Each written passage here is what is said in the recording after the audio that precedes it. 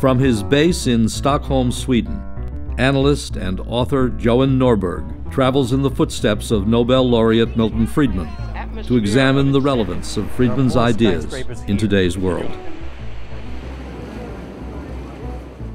Milton Friedman traveled the world to examine various economic systems. He concluded that for most people, an emphasis on economic freedom would lead to both individual and political freedom. Many commentators say that Milton Friedman did more for freedom than anybody else in recent decades. He convinced many nations to embrace economic freedom. When Milton Friedman died in 2006, The Economist magazine's obituary had the headline, How Milton Freed Man. On the other hand, writers like the Canadian anti-capitalist Naomi Klein claim that he helped authoritarians by advising them to adopt free market economic policies. So who's right? Friedman would advise us to test his ideas by examining the evidence of recent history. If you want to see how the free market really works, this is the place to come. Hong Kong, a place with hardly any natural resources. About the only one you can name is a great harbor. Yet the absence of natural resources hasn't prevented rapid economic development. On a back street, Norberg encounters the very same craftsman Friedman visited in 1980 to find that Friedman's prediction has indeed come true. And Mr. Jung is still here, and nowadays he produces more things for the tourist trade. Thank you, Mr. Jung. And in Washington, D.C., Norberg finds that Friedman's words from 1980 still resonate today. There's hardly an issue in which you won't find government on both sides.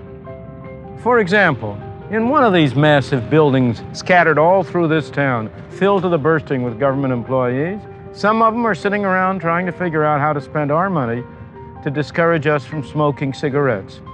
In another of the massive buildings, maybe far away from the first, some other employees, equally dedicated, equally hardworking, are sitting around figuring out how to spend our money to subsidize farmers to grow more tobacco.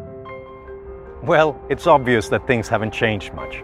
US politicians still spend tax dollars on anti-smoking campaigns, and tobacco farming is still subsidized by the government. Every government intervention results in unintended consequences.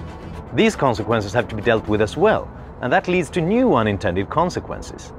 The result is a constant growth of government. In 1980, Friedman designed a very graphic way to highlight this problem. The federal regulations that govern our lives are available in many places. One set is here, in the Library of Congress, in Washington, D.C. In 1936, the federal government established the Federal Register to record all of the regulations, hearings, and other matters connected with the agencies in Washington. This is Volume 1, Number 1. In 1936, it took three volumes like this to record all these matters. In 1937, it took four, and then it grew and grew and grew. At first, rather slowly and gradually, but even so, year by year, it took a bigger and bigger pile to hold all the regulations and hearings for that year. Then, around 1970, came a veritable explosion, so that one pile is no longer enough to hold the regulations for that year. It takes two and then three piles until on one day in 1977, September 28th, the Federal Register had no fewer than 1,754 pages. And these aren't exactly what you would call small pages either. No matter where you come from, whenever there's a problem, it's tempting to look to the government for solutions. Since the recession of 2008, we've seen unprecedented government intervention in the financial sector and in the automotive industry. We've seen new spending programs, more tariffs and new regulations, and we've seen the largest buildup of government debt in American history, a debt that might haunt us for generations.